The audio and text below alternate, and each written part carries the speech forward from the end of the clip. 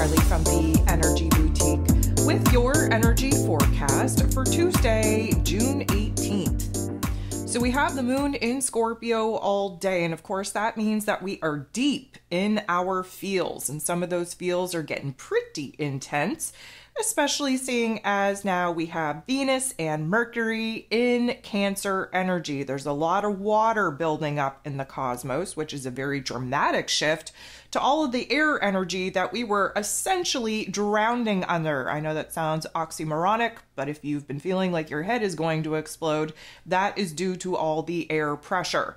Now we are watching some of these planets move into water energies, which definitely throws us into the deep end of our fields. And with the moon in Scorpio specifically, we are doing some shadow work especially examining our relationship dynamics, examining the options and opportunities still available to us that we are trying to sort through and process in order to align with a choice point, align with the decision point, a path of direction prior to entering into the solstice energy that is very much sucking us in at this particular point in time. So, of course, yesterday was a major day here on the 17th with Venus and Mercury moving out of Gemini energy, moving into Cancer energy, squaring off with Neptune really helping to peel back the layers of confusion and renew, resurrect a new faith, new hopes, new wishes within us. So, there are 11 different aspects taking place here today. 10 of them are going to involve the moon. The moon in this Scorpio energy going to make a awkward interaction with the sun in Gemini energy. So again, the sun shining very brightly towards the end of this Gemini sector. We are still contemplating the choice points, the decision points, the path, the direction that we are again leaning further into one over the other at this point, but we're still very unsure and uncertain any time that we have the moon and the sun coming together in any kind of interaction, there's going to be an aha moment. The aha moment is very revealing on emotional wants, needs, and desires, on options and opportunities to really get anchored into these new wants, needs, and desires, further eliminating some options, some choice points that are no longer supporting the realization that we're currently having about what we want, what we need, what we desire for the long term. The moon is then going to make a very tough interaction with the North Node in Aries energy. That North Node is trying to get us on the right path to reach our soul's mission, to reach our soul's potential. That North Node needs us to be a little bit more independent. We have a solo quest, a solo adventure that we need to go on for ourselves the moon interacting with the north node in this way definitely creating a little bit more confusion than we would like because the wants, needs, and desires that we currently have are kind of conflicting with the wants, needs, and desires that we previously established, especially in particular relationship dynamics. So we don't know where we're going from here. We don't know the path forward. We don't know what it is that we actually want to do. The moon is then going to make an awkward interaction with Neptune in his place of power in this Pisces energy at the final 29th degree, which creates a little bit of chaos, a little bit of craziness, a little bit of urgency. Now, granted, this is a water on water interaction, which means that there is a lot of emotion, a lot of intuition that we have to kind of do a deep dive in in order to remind ourselves what it is that we actually want, need, and desire, not only for ourselves, but for our higher self mission. This particular interaction definitely going to overwhelm us with a lot of emotion, a lot of those feels, a lot of those intuitive insights. Again, the moon in Scorpio needs to make a major change, a major transformation within us, between our heart and our head, before we can engage the physical body, take action, and make moves out in the physical realm.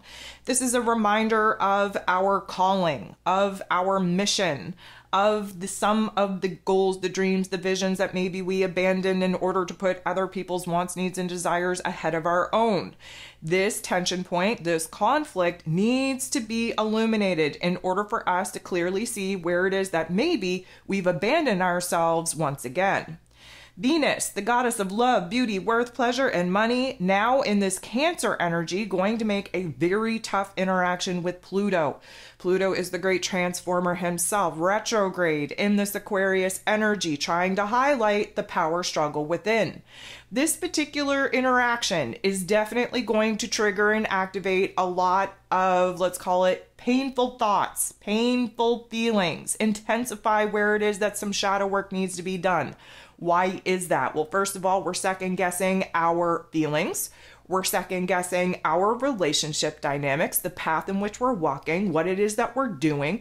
We're even questioning whether or not we still feel called to kind of follow the path, the quest, the direction that many of us have been pursuing for about a month, even more so, taking us back to the new moon solar eclipse in that Aries energy.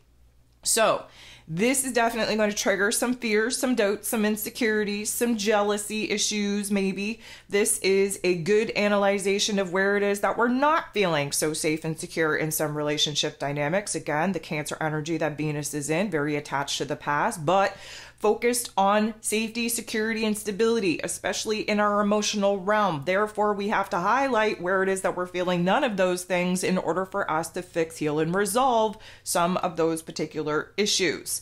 This is going to illuminate where it is that we've been actively trying to ignore some of the red flags that have definitely been waving in our faces. We have to identify the problem in order for us to fix it. We have to become aware of where it is that we're not feeling so safe and secure in certain circumstances and instances, and especially with the people that we have been choosing to share time, energy, and space with.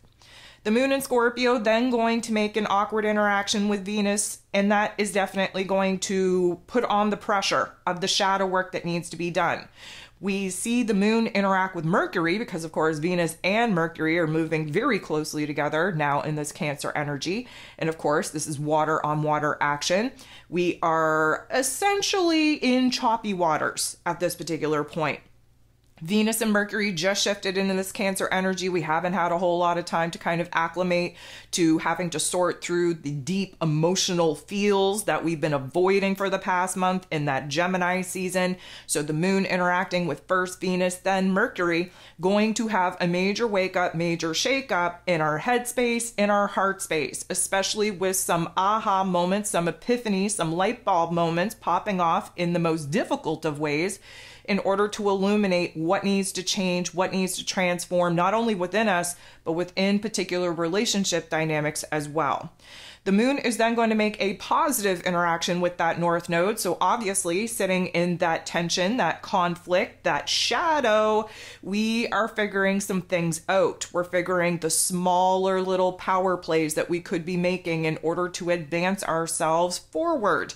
This is an aha moment, a little bit of clarity, a little bit of insight on where it is that we have some opportunities to kind of grow those tension points, that conflict, those triggers, those activations, that is welcoming us to boss up, to do better, to be better, to flip the script, to see it from a different lens, and therefore take different actions in order to create a different result. The moon then trines Saturn. Saturn, of course, the lord of karma, ruling over roles, responsibilities, systems, structures, foundations, willpower, and discipline in Pisces energy. This is water on water action in the most favorable way that we could ever get. It's a gentle nudge, a growing point in the right direction. This is going to help kind of soothe our soul a little bit. This is going to help kind of draw our attention to the very, I'm going to say, dramatic changing landscape of our emotions. This is going to kind of reassure to us that, guess what? We got to calm our asses down. We have to stabilize ourselves. We have to ground ourselves. We have to become very aware of where it is that we're at before we take any action to try to get to where it is that we want to go. We have to strike a balance, if you will, between, yes, recognizing our emotions, but also recognizing a, let's call it logical, practical action that we could take in order to resolve said conflict. So, this is kind of like a reality check. However, it is pushing us into the emotional realm to see where it is that we could actually fix, heal, resolve some of these particular issues by taking some small but very powerful steps to open up the lines of communication, to actually see where it is that we've been avoiding, growing, evolving, and where it is that, again, we are choosing to stand still in this pause energy in order to gain bearings, in order to gain insight. The moon then goes ahead, makes a positive interaction with Pluto. Pluto rules over the Scorpio energy that the moon is currently in. Pluto again, retrograde in Aquarius energy. This is fixed energy interacting with each other. Scorpio energy is a fixed water sign. Aquarius energy is a fixed air sign. The Aquarius energy is allowing us to act as the observer, and the moon in Scorpio is taking us on a deep dive to examine the darker parts of self. Now, this is going to be a powerful realization, very intense in the emotional realm, helping us to peel back the layers, especially in our psyche, especially in our perspective, especially in our programming on where it is that we have kind of, I'm going to say, limited ourselves from seeing the forest past the trees. We've been so tunnel vision on one particular problem, one particular issue, that we don't realize that there is a lot more going on than just that, and that they're all interconnected, all intertwined. And so this has the ability and potential to kind of re- realize new insights, take on a different perspective, flip the script, so to speak. And all of this is definitely bossing us up, empowering us to not only kind of find stability in our emotions, but to see where it is that we actually have more power and control over our situation circumstances than we've believed up until this particular point.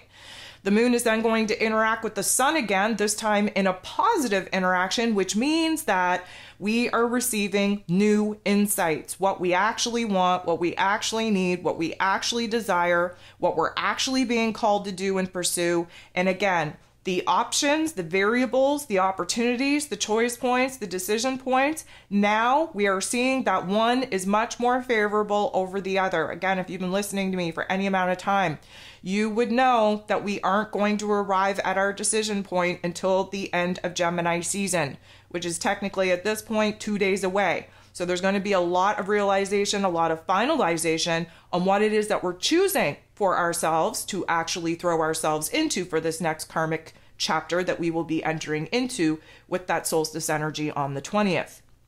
The last thing that we have going on here today is the moon making a very difficult interaction with Chiron, the wounded healer, in this Aries energy. So, just as we're building ourselves up, just as we're feeling confident, just as we're feeling in power and in control of our emotions, of our perspective, of our circumstances, Suddenly, we take a deep dive into the negative narrative. Suddenly, this is going to make us feel raw, vulnerable, insecure, fearful. This is the old version of the old ego self kind of creeping back in to keep us in a state of paralysis. Again, that moon in Scorpio wants us to change, wants us to transform, wants us to merge the division within us back to a state of wholeness. And just as we're attempting to do that, just as we're attempting to kind of build ourselves up, again, that negative ass narrative comes creeping back in, opening us up to old pain, old trauma, old thoughts, old reactions. And the Chiron energy, that wounded healer, is definitely bringing the wounded part out to play. So again, the moon in Scorpio needs us to kind of sit in this ego programming, in these fears, in these doubts, in these insecurities, because that is the shadow work that the moon in Scorpio promotes. And when we can kind of acknowledge these particular parts of self, we can flip the script. We can build ourselves up. We can understand that acting as the higher healed self will actually free us to move on, to make some progress, to create a different path, a different realm, a different reality.